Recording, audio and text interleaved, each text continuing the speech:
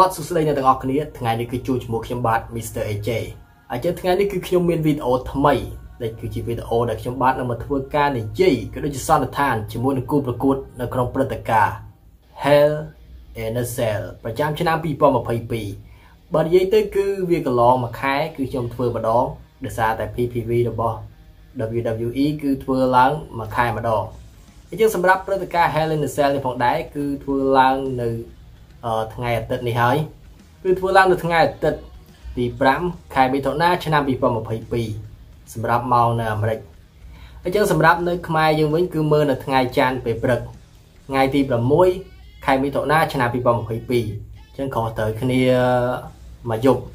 គេមើលយប់យើងមើលព្រឹកប៉ុណ្ណឹងបាទសម្រាប់គូប្រកួតដែលខ្ញុំលើកមកទាយគឺមានតែ2គូទេដោយសារតែ Helen Cell ឆ្នាំនេះគឺអត់មានគូប្រកួតអីគួរឲ្យតាក់ទាញទេ ដោយសារតែអត់មាន Roman នៅក្នុងហ្នឹងគឺការប្រកួតនៅ SmackDown គឺអត់មានសោះតែម្ដងអានឹងបើមើលតាមមកដល់ថ្ងៃនេះគឺអត់ទាន់មានទេសម្រាប់អឺនៅការ SmackDown គូប្រកួតនៅ Hell in a Cell គឺសិតតែនៅ Raw ទាំងអស់អញ្ចឹងកុំឲ្យខាតពេលវេយូទៅទីជាមួយខ្ញុំបងប្អូននេះបាទឥឡូវយើងមកដល់គូទី1តែម្ដងគឺជាការប្រកួត Mix Tag Team មានប្រុសមានស្រីរវាងនឹង team អឺ AJ Style ដែលមាន AJ Style មាន Finn Balor និងអឺស្រីគឺ Liv Morgan ហើយប្រកួតជាមួយនឹង The Judgment Day មានមេកន្ទ្រាយធំបំផុតគឺ Edge បន្តមកទៀតគឺ Damien Priest និង Rhea Ripley ខ្ញុំកម្រនិយាយពីគូស្រីតែដោយសារគូនេះគឺមានប្រុសវាយជាមួយអឺ tag team ចូលគ្នាជាមួយស្រីអញ្ចឹងខ្ញុំក៏ទាយតែម្ដងទៅ ហើយនៅមួយ AJ Idol ខ្ញុំក៏នៅនឹងដែរអញ្ចឹងបើសម្រាប់គូប្រកួតនេះផងដែរគឺខ្ញុំវាពិបាកនឹងទីមែនតើដោយសារតែយើងមើលប្រហែល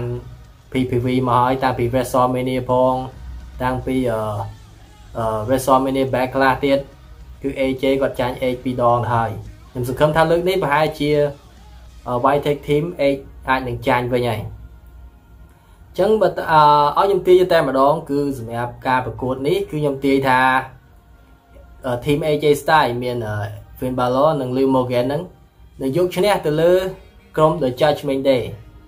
Edge Damien Priest និង Rhea Ripley បាទឥឡូវចូលមកដល់គូទី2តែម្ដង គឺជាការប្រកួតសងសឹកឡើងវិញដែរគឺជាការប្រកួតរវាង The American Nightmare Cody Rhodes ត្រូវប្រកួតជាមួយនឹង Seth Rollins ម្ដងទៀតដែលជាការប្រកួតសងសឹកទៀតហើយ កាលពី WrestleMania គឺ Cody Rhodes បានយកឈ្នះទៅលើ Seth Rollins ហើយបន្តមកទៀតគឺនៅព្រឹត្តិការណ៍ WrestleMania Backlash គឺ Cody Rhodes ក៏ឈ្នះ Seth Rollins ទៀតដែរហើយចឹង Seth Rollins គឺអត់អស់ចិត្តនោះទេគាត់ក៏បន្តការប្រកួតនេះមកដល់ Hell in the Cell ទៀតសម្រាប់ការប្រកួតនៅ Hell in the Cell នេះគឺជាការប្រកួតដាក់ត្រង់ដៃតែម្ដងគឺត្រង់ Hell in the Cell ហ្នឹងហើយអញ្ចឹងគឺការប្រកួតវាលើកទី1របស់ Cody Rhodes ដែរដែលគាត់ ដូចជាមិនមិនដែលលបឃើញគាត់ប្រកួត នៅក្នុងត្រង់ Hell in the Cell ទេតាំងពីដើមរហូតមកដល់ឥឡូវហ្នឹងហើយនេះគឺជាលើកទី1របស់គាត់សម្រាប់ការប្រកួតនេះគឺវាពិបាកនៅទីមែនតើខ្ញុំអាចថា Cody Rhodes គាត់ទៅមកអញ្ចឹងគេលើកឲ្យគាត់ខ្លាំងរហូតទៅពួកអីគាត់អឺឥឡូវនេះគឺជា superstar នាំមុខនៅ Raw ហើយចឹងហើយបានជា WWE Champion នៅ Roman គឺ Roman យកទៅ SmackDown ដើម្បីទុកសាច់រឿងនៅនេះឲ្យ Cody Rhodes នៅ Raw ហ្នឹងចឹងសម្រាប់ការប្រកួតនេះផងដែរអឺ set មិនសង្ឃឹមថាឈ្នះទេទេហើយបើឲ្យខ្ញុំយកទាយយកតែម្ដងគឺខ្ញុំទាយអឺ70%ទេខ្ញុំទាយថា Cody Rhodes គាត់នឹងយកឈ្នះទៅលើ set freaking Rollins ម្ដងទៀតនៅក្នុងការប្រកួតដាក់ត្រង់ Hell in a Cell បាទជាវីដេអូនេះគឺមានតែប៉ុណ្្នឹងទេហើយសូមអរគុណមែនទែនចំពោះការតាមដានទស្សនារបស់ fan fan WWE ទាំងអស់គ្នាចឹងចាំជួបជាមួយខ្ញុំបាទនៅវីដេអូក្រោយទៀតគឺជាវីដេអូទាយព្រឹត្តិការណ៍ក្រោយទៀតប្រហែលជា Money in the Bank ហើយហើយឮថា Money in the Bank ឆ្នាំហ្នឹងគឺធ្វើឡើងនៅក្នុង start ធំតែម្ដងគឺស្មើនឹងអឺ WrestleMania ចិត្តស្មើបើនិយាយទៅវាចិត្តស្មើដែរ អញ្ចឹងគឺថាក៏ក្រៅតែម្ដងហើយអញ្ចឹងសូមកុំភ្លេចតាមដានទស្សនាព្រឹត្តិការណ៍ Hell in a Cell ប្រចាំឆ្នាំ2022ផងដែរហើយបើសម្រាប់ថ្ងៃសៅរ៍វិញ NXT ក៏មានដែរគឺ NXT in your house ថ្ងៃសៅរ៍ហ្នឹងមានគូពិសេសពិសេសពី3គូដែរ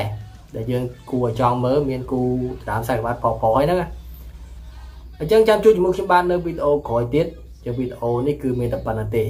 ខ្ញុំបាទ Mr. J เป็นខុសឆ្គងសូមមេត្តាអធិស្ឋាន